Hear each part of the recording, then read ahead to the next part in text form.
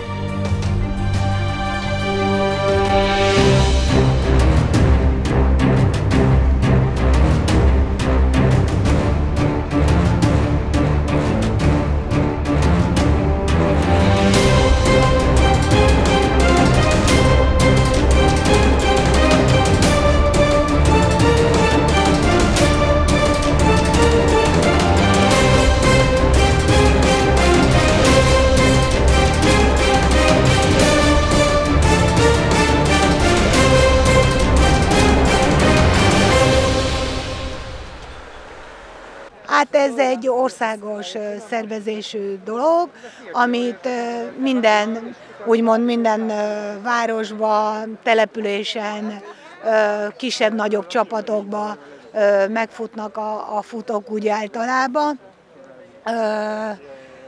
Be lehet regisztrálni egy weboldalon a kilométereinket, ezeket összeadják, és hát az a lényeg, hogy hányszor futjuk körbe Magyarország területét. Tehát akkor, ha jól értem, itt bárki bármennyit futhat, illetve nem csak futva lehet megtenni a távot. Így van, kerékpárral is meg lehet, gyalogosan is, kocogva is, kinek ami éppen jól esik. Mi a jó ebbe a kezdeményezésbe? Hát összehozza a futókat, nagyon sokan vagyunk, főleg itt Tajkán nagyon megszaporodtak a futók létszámai, kicsik, nagyok itt most egybe futhatnak ezen a, az országfutáson. Ez nem egy verseny, ez egy közösségi futás, beszélgetünk futás közben, mindenki elmondhatja jó és rossz tapasztalatait, eszmecserét cserélünk futás közben még. Mekkora távot fognak ma itt lefutni? Hát két távot hirdettünk, 5 kilométert és 10 kilométert, hogy a kicsikre gondolva az ötöt azt már általában, aki már futott, le tudja futni.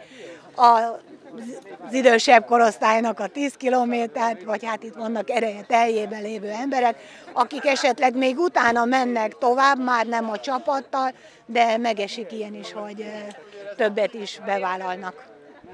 Aki még ma kedvet kapna erre az országfutásra, úgy tudom, hogy az megteheti önállóan is. Igen, természetesen önállóan is megteheti, csak akkor fel kell mennie az országfutás honlapra, és beregisztrálnia névvel és kilométerrel, hogy mennyit tett meg a mai napon.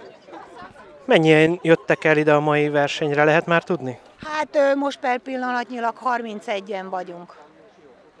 Tudunk valami olyat esetleg, hogy legfiatalabb, legidősebb versenyző? Illetve nem versenyző, bocsánat. Hát a legfiatalabb olyan 9-10 évesnek nézem, lehet, hogy 8, a legidősebb pedig 64, 65, körülbelül.